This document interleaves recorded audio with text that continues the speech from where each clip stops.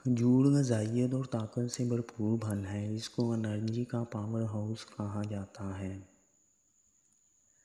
दुनिया भर में खजूर की तीन हज़ार से ज़्यादा इकसाम पाई जाती हैं।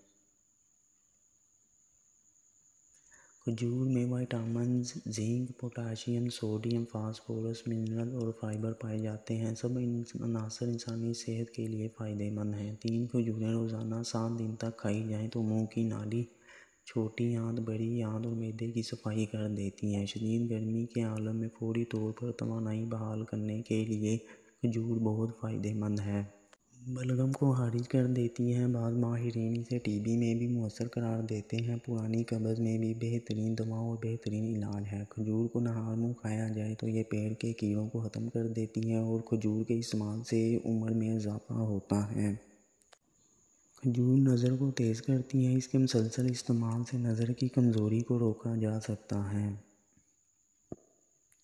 खजूर को दूध में उबाल कर खाना बेहतरीन मकवी यानी ताकत देने वाली ग़ज़ा है। खजूर के साथ खीरा या ककड़ी खाना जिसमानी कमज़ोरी और दुबलापन को ख़त्म कर देता है। खजूर का इस्तेमाल जिसमानी और असाबी कमज़ोरी दूर करने के लिए हर उम्र के अफराद के लिए यकसा मुफीद साबित होता है। पाँच अदद खजूरें, दस अदद बादाम, एक गिलास दूध में ग्रहण करके पी लीजिए। हाफजा और असाबी कमज़ोरी के लिए बेहतरीन नुस्खा है।